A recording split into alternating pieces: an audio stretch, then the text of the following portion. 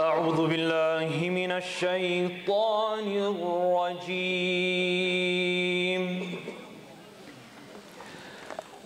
بسم الله الرحمن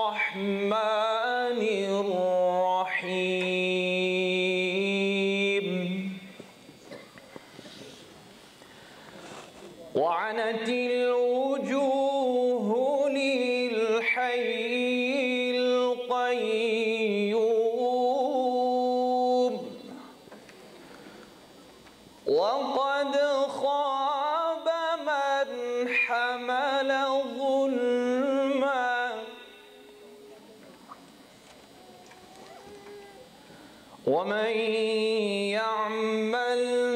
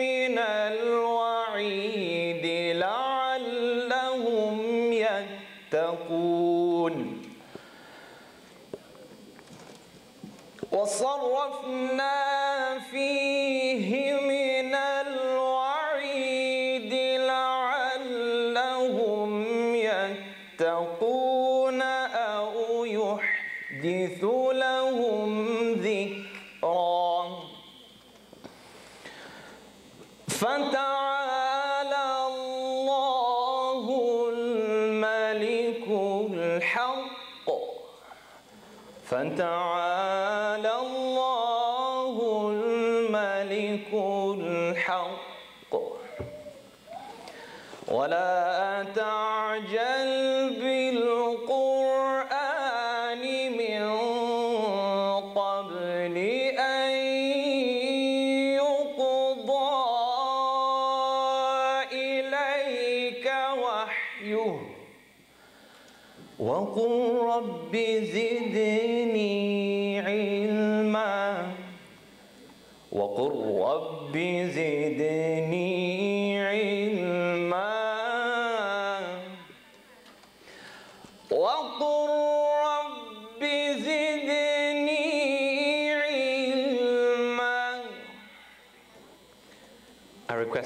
to make this dua with me. If you know it, it's about four or five words. Everyone, please repeat with me. There's no point in one person reciting. Recite together, the room will fill with light. وَقُرْ رَبِّ زِدْنِي عِلْمًا They didn't give you enough pretzels. Inshallah. One more time. رب زدني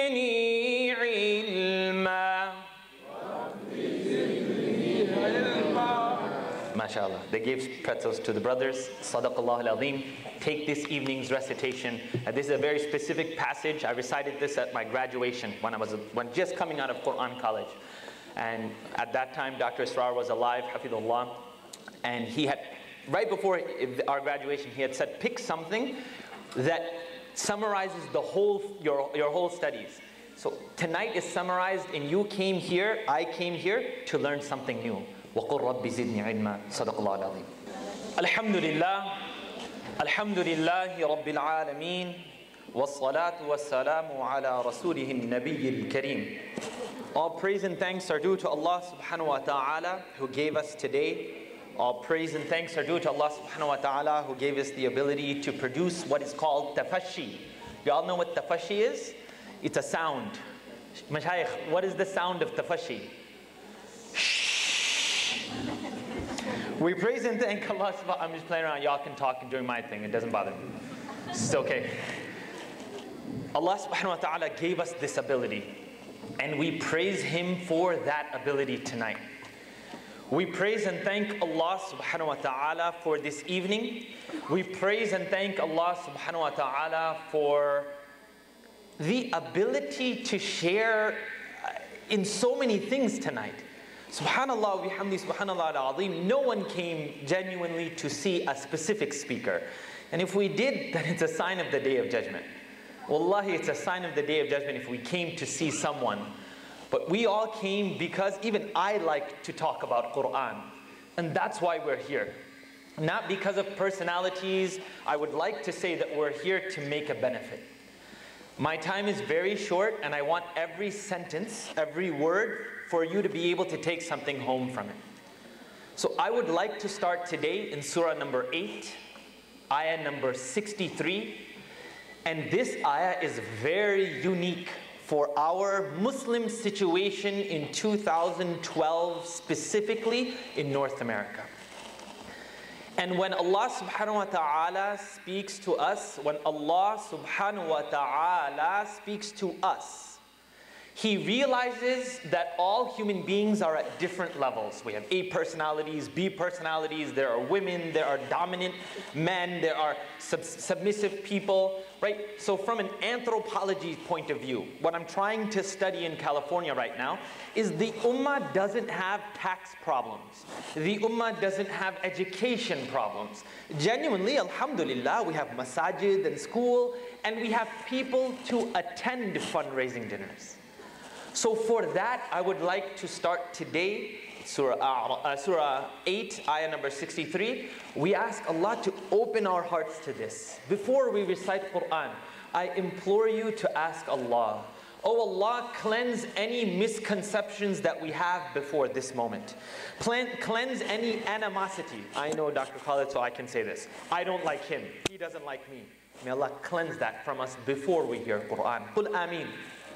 This is the key factor. We give talks and presentations and chandeliers, but I don't like you, you don't like me. So the work never goes forward. You can't go anywhere without this. So Allah subhanahu wa ta'ala speaks to a specific type of personality in ayah number 63.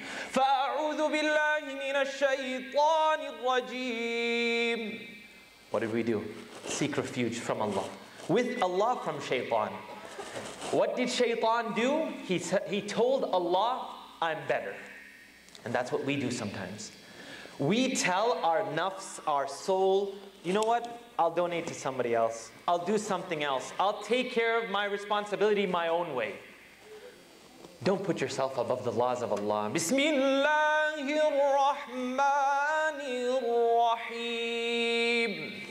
With the name of Allah, we started tonight, and with the name of Allah, who is Allah the most beneficent? Wallahi, can we take a second? Obama gave us $51 million and someone has to sell that to us? Subhanallah, Ar-Rahman. Because Ar-Rahman saw what? We were getting sust and tired and lazy. The doctor spoke about laziness as a disease. What happened? So we sat here, we got served some nice food, and someone told us maybe, if you feel like it, you could help out a whole bunch of people. This is Ar-Rahman when our good deeds are a luxury. I mean, wallahi ladin, we've got every system and I'm wearing a Bluetooth Sony. What else do we need? Allah says to us, وَأَلَّفَ بَيْنَ قُلُوبِهِمْ and united their hearts. Period. What does this mean? You know when your child comes running to you and says, Mama, I want to do this, I want to go here. Or your child comes to you and says, I want a new car. And they keep repeating this phrase. Or maybe you go to the masjid and you hear uh, moon sighting, moon sighting. You keep hearing phrases. So in this surah, Allah subhanahu wa ta'ala tells us the phrase that would bring the whole ummah together. It's not fiqh, it's not differences of opinion in our aqidah. What is it? It's lack of us working together. So Allah subhanahu wa ta'ala says, joining the hearts, and then says, period. You truly want to have, be a better parent, you truly want Muslims to flourish in North America. So Allah subhanahu wa ta'ala says, this is what you want? Then the phrase changes completely. Young men, I'll give you an example. Keep yelling the word Ferrari as much as you can. And then after a while, someone might come to you and say, I think he wants a Ferrari. I think so. Sisters, keep saying the thing that you need. At some point, someone will be like, I think she wants that thing. So Allah subhanahu wa ta'ala says, You think this dinner, this gathering, Faisal's 15 slides that made sense are going to change the ummah? Allah subhanahu wa ta'ala says what? What's the next word after this? Uh, Uh, What's the next word? Help me out here. Low. لو أنفقت ما في الأرض جميعا Allah subhanahu wa ta'ala says the perfect thing, right? He, of course, it's, but when you think about it, Allah is reconciling with us like children. You want unity? You want to win this battle? Muhammad Rasulullah sallallahu alayhi wasallam is being sanctioned. You want freedom and unity? Allah says, then let's put this on the shelf. Freedom and unity, we'll put it up on the shelf. And then Allah reminds us, because we are the sons and daughters of Adam salam. And we are the people, human beings, who have the frontal lobe decision of free will. We choose, and we use the word choice. So even low, even if you had spent all that was in the heavens and the earth, jamia, and it is actually all that is in the earth collectively. If everyone in this room donated $9,000 each, would it equal 51 million? No, it wouldn't. So Allah subhanahu wa ta'ala is not telling us, do the work and I will reward you. He said, even if you spent everything in the earth, and some ulama say that even if you took the earth itself, dipped it in gold and spent it in the path of Allah, it wouldn't be enough. Because who needs to bless that spending? Who is it? Allah does. It's so trivial. لو أنفقت ما في الأرض جميعا جميعا ما ألفت بين قلوبهم If we spent and I gave each one of you, I called Serenity Builders and I built a home for each and every one of you in this house and in this room. and I say, I want all of you to agree on one, one, let's take moon sighting. I'll build everyone in this room a house if you agree with me on moon sighting. I guarantee 90% will take it, but what will happen at the end? People will say, don't need to talk about it. Go keep your house. Allah subhanahu wa ta'ala reminds us if we spend but we leave Allah subhanahu wa ta'ala out of the equation. So let's push the envelope. If we look at our children and we say, You're wrong, I know what's right, we never gave them the chance.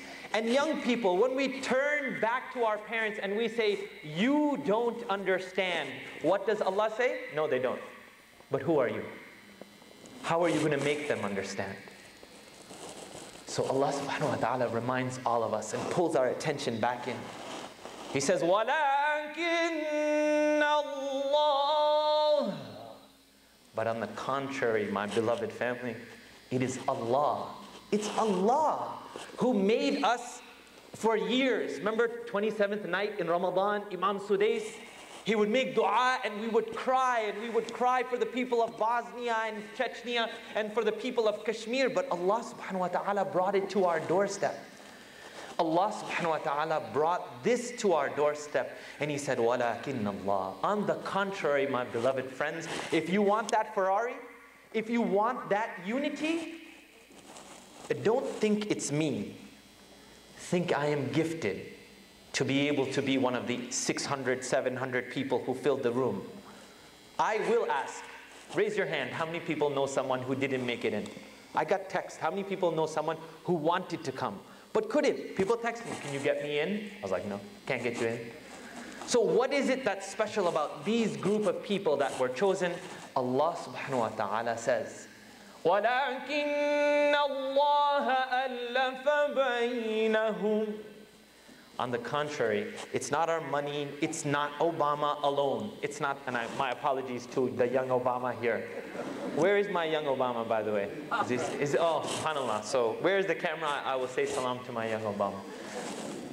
It is not just, it is not just that Allah subhanahu wa ta'ala brought us here, but is that Allah subhanahu wa ta'ala did it in, in our style.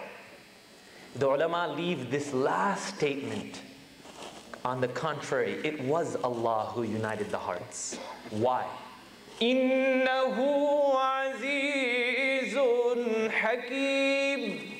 Indeed, He, Allah, who is Rahman.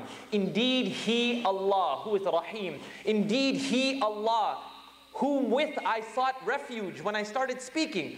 Allah subhanahu wa ta'ala is almighty and all wise. And in having this ability, this gift that He has given us to choose, Allah subhanahu wa ta'ala ends the ayah with the word Hakim. Sisters, what does the word Hakim mean? Just call it out and I'll, I'll work with your translation. What does Hakim mean? Wise? Okay, wise is one translation. Good. It means that He, God, is the overpowering and the almighty, that's fair, and the wise. Define wisdom for me. Brothers, expound. Hikmah has two components. I might be wise, right? Wisam, hence the name. Or, uh, brothers didn't get it, it's okay. They're all staring at me. It is one thing to be wise, it is another thing to have the authority to share your wisdom. Dr. Khalid is not on stage right now. The brother Faisal's not on stage. They're wise, but the authority has been given to the one here. Allah is the only one at all times. Please take this. If someone says, What did you learn in his talk? Allah is the only one, subhanahu wa ta'ala, that has both at the same time. He has the wisdom. So, yes, our lives go through, I went through sickness, right? A lot of people, why did you, why, what happened? I felt very sick. But when you fall sick, oh, people don't learn anymore. No, Allah is wise. But what does Allah subhanahu wa ta'ala have that we don't have all the time? We have wisdoms by reading Quran. What don't we have at all the time? Authority. Well done. We don't have the authority to share these words. So Allah subhanahu wa ta'ala says, don't speak on your behalf of your heart. Speak on behalf of the words that have affected your heart. With me on this? When I get up here, my, my speech is what? My speech was one ayah. And to me, it literally knocked me out of my chair when I heard this. Because read the sentence yourself.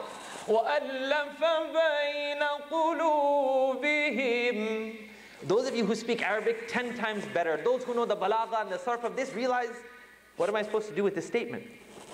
Allah subhanahu wa ta'ala doesn't want us to preach Quran. He wants us to read the book. And the effect is that we will give preaching to other, to the others around us that say, what are you doing? I'm studying Quran, I'm a student of knowledge. People say that, right? But what makes up the room here today is not only students of knowledge. They are professionals and adults who say, وَلَكِنَّ اللَّهِ That Allah subhanahu wa ta'ala will join our hearts. And Allah subhanahu wa ta'ala will rectify, and again, hearts is such a generic word, wallahi. I mean, it's so deeply discussed. So I'll leave you on this point. Everybody in this room has an opinion about what I'm wearing.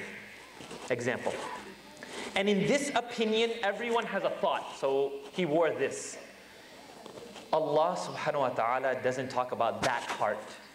He is talking about the heart that reconciles between all of humanity.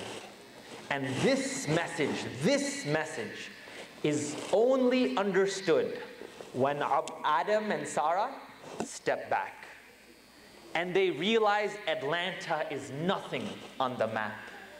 That one masjid is nothing on the map. But Allah has allowed us to live in Atlanta. And Atlanta has these gifts. So I ask unto you, what will you do with the gifts that Allah subhanahu wa ta'ala gave to you? We ask Allah subhanahu um, really genuinely, that's my question. You have to stand behind your iman and say, look, Faisal, I heard what you said, I don't really feel it. Give a real excuse, not I will take the form home. Give a real excuse for when Allah asks, you can just say that. But unless you know that your filling of the form is truly going to help someone, it isn't. It is Allah subhanahu wa ta'ala's gift that you were chosen to be amongst those who united. All that is clean and pure is from Allah subhanahu wa ta'ala. Mistakes, misrepresentations are my own. I wish to have shared some more time with you. I extend one small salam from many. I've traveled in a few states in the last few days. Many, many people ask, Brother Wisam, you travel, you see so many different cities. And I say unto you one small statement. When this dollar bill gets sent to somebody else, and Allah subhanahu wa ta'ala calls and tells the people, bring their account. What will we tell Allah? Because I told Faisal, I won't come if it's a fundraising dinner. The ummah's tired, yeah? Just leave it. I said it's not a fundraising dinner. So for six hours on the plane, I tried to write a speech. How could I write a speech for something that requires no explanation? Read Surah number 8, ayah number 63, and remove the first five words before you do anything in life. And put your words there. I want to get married. I want whatever you want. You want your kids to drink milk? मेरा बच्चा दूध नहीं पीता ठीक है I'll make dua for your बच्चा uh, the translation of that in Arabic I'm not even going to try basically my child doesn't drink milk if you want this and you genuinely want this and you've done everything then turn back to Allah but remember, the action, even the salah, my namaz, my movement, it doesn't make me a better person. the gift that God chose me to sit in this hall, to pray outside, to speak to people. This is my gift from Allah subhanahu wa ta'ala. I ask Allah subhanahu wa ta'ala for His mercy and for His forgiveness. A dua, maybe you can read with me. I'll read it once openly. You can raise your hands, not raise your hands. Uh, I don't care. Make the dua. Allahumma anta salam. I didn't fly no six hours to hear that. اللهم أنت السلام ومنك السلام تباركت يا ذا الجلال والإكرام تبارك وتعالى حينا وأدخلنا دار السلام يا حي يا قيوم سبحان ربك رب العزة عما يصفون والسلام على المرسلين والحمد لله رب العالمين My dad called He had said a special salam. He intended to be here. He did not get the opportunity to come. So on behalf of my family, all of the students who claim I have taught them something, Assalamu alaikum wa rahmatullah.